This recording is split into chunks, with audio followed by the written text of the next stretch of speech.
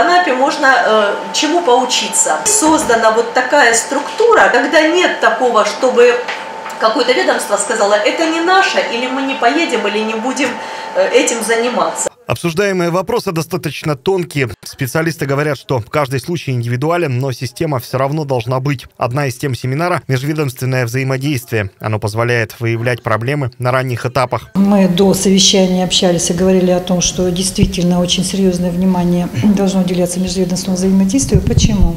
Нельзя решить э, судьбу ребенка какой-то одной индивидуальной службой. Я буквально недавно, вот, вот сейчас рассказывала о том, что я считаю, мы спасли ребеночка,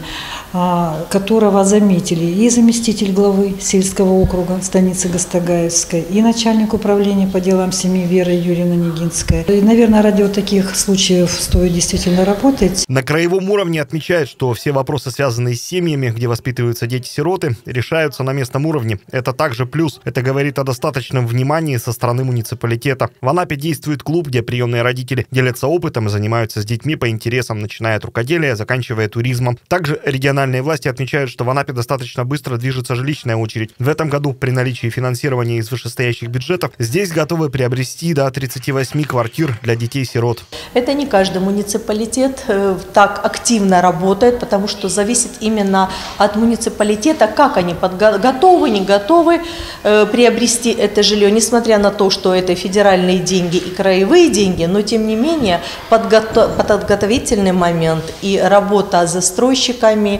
это прежде всего заслуга муниципалитетов. В этом году проведут индексацию выплат замещающим родителям. Ее размер в процентах будет зависеть от категории. В целом специалисты говорят, что здесь индивидуален каждый случай. По словам Натальи Агафоновой, сегодня приоритетная задача, чтобы у каждого ребенка появились любящие мама и папа.